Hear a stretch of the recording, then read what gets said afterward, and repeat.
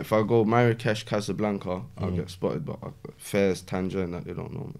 Okay, but yeah, yeah, you got sex. But oh yeah, I, like la- I just come back from there last week. I was getting stopped in Marrakesh. Oh, oh lads, let me photo, please, bro. No, no, no, you get me? yeah, yeah. Yeah.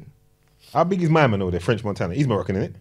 Yeah, yeah, yeah, he's big. Huge. He's big over there. Yeah, Yeah, yeah. He's massive. to connect at some stage. he's massive. Do you know what? You see him, yeah. I'll be honest, bro. I grew up with him. I was a big fan. Mm. Then I performed with him in Morocco. Big up Dizzy DROS. That's a Moroccan artist who brought me to the performance. Yeah? Okay. So he brought me as a supporting act, and French was there. And obviously, when the show's done, you see, like when you when he's come backstage, Yeah. he's, I thought he's gonna come and chill with us with the artists. Yeah. It's where all the artists are, the Yeah. Moroccan artists, everyone's here, Yeah. innit?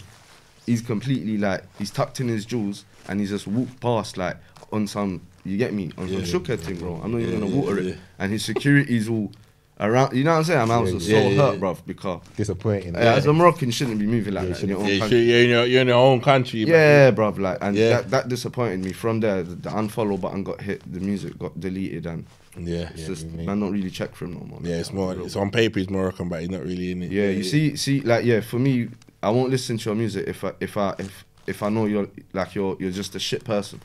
Yeah, Do you know I mean? facts. Yeah. Or you're a capper, like you're just Mm.